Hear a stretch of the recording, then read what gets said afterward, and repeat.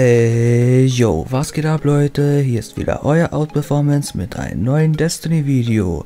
In diesem Video zeige ich euch drei unsichtbare Plattformen im Schmelztiegel. Ihr solltet diese Glitches nicht im öffentlichen PvP einsetzen, da es sein könnte, dass euch Spieler melden und ihr gebannt werdet. Außerdem ist das Ganze natürlich nicht fair gegenüber anderen Spielern. Wenn ihr die Glitches dennoch im normalen Schmelztiegel einsetzt, übernehme ich nicht die Verantwortung, wenn ihr gebannt werden solltet. Natürlich ist die Chance sehr gering, aber es ist möglich möglich. So, jetzt aber zu den Glitches.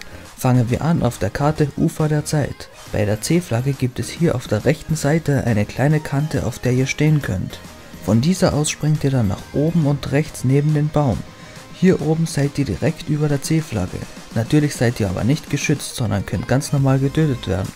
Weiter geht es dann mit der Karte Erstes Licht. Hinter der C-Flagge gibt es einen Ort, wo ihr hin könnt. Hier müsst ihr aber die Sparrow Flying Technik drauf haben, ansonsten kommt ihr hier nicht hoch.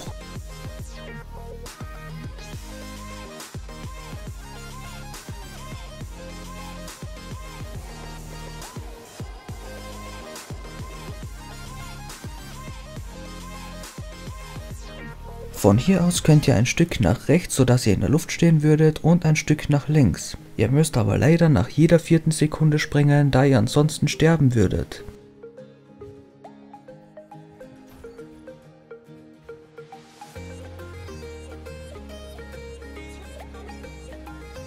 Und der letzte Glitch befindet sich auf der Map der Kessel. In einem Konfliktmatch spawnt man als Bravo-Team direkt dort, wo ihr hin müsst.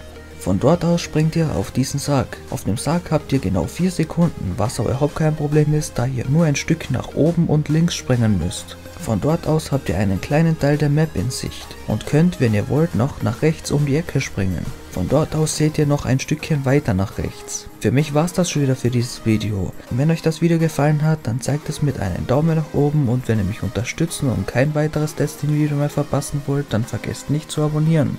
Danke fürs Zusehen und die Unterstützung. Macht's gut und bis zum nächsten Mal, Leute. Euer Outperformance.